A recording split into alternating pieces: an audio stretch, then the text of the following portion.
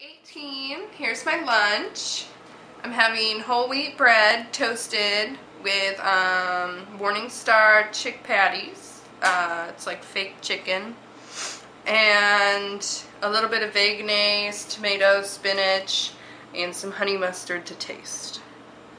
And that's my little sandwich. Hi, it's day 18 and today's my day of rest because I was really busy today and I have still have a lot of work to do and I'm really sore from my run yesterday and pretty much every exercise I do involves me moving my legs which are pretty sore and I don't want to overdo it.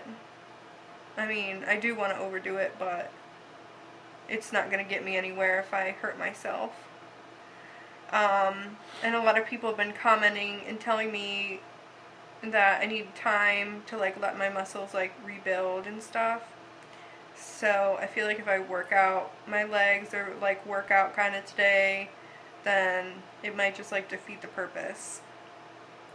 So I'm gonna stay with my diet today.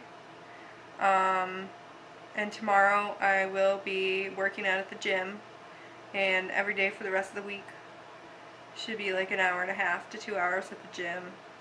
So I'm hoping that I still lose weight on Monday at weigh-in.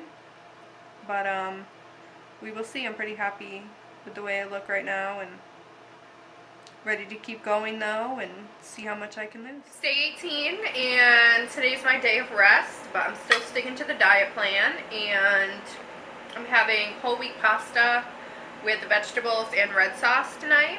And you measure out, it's only three quarters of a cup, which is one serving of pasta, which isn't very much.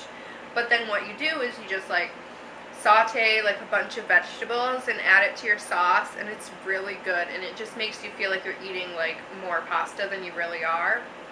And vegetables are really good because you know they have the micronutrients that you need so